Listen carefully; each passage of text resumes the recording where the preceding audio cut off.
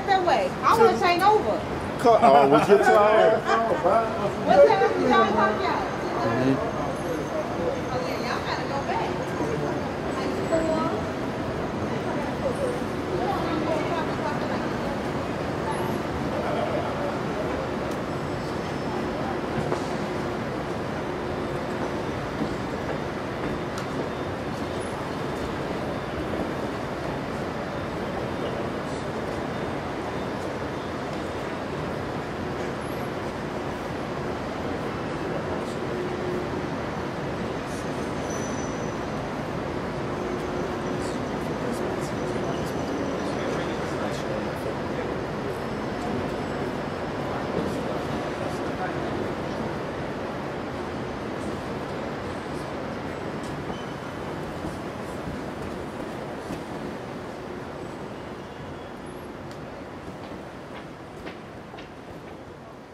During the time when we did these towers, uh, uh, actually in the late 70s, I remember that in 79, uh, we, we secured the commission. This was an interview process on the state building. And uh, uh, uh, this, this was a very difficult problem because the building was only a million square feet and it had a whole city block. You know, Governor Thompson that time was the first governor after 25 years of other governors trying to build a major uh, uh, signature building which uh, represents the state of Illinois in downtown Chicago.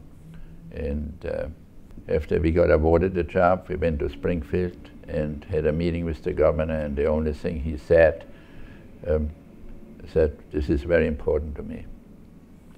And uh, we had like seven schemes because we had to deal with what to do on a big block because they wanted a high-rise building. But a high-rise building only was 35 stories tall. And there was a lot of empty land, and it was very on the urban. So we graduated from the towers to two towers to lower towers to that building. And we had seven schemes. And one day we had to present it to the governor we had to present three schemes. One tower, medium raised tower, and the building which was ultimately built.